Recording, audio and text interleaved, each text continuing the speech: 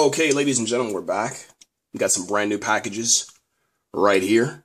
And what we're going to do is we're going to do a quick unboxing for you. If you can see this up here, I'm pretty sure if you're a uh, fan of that series or that movie franchise, you understand what that is.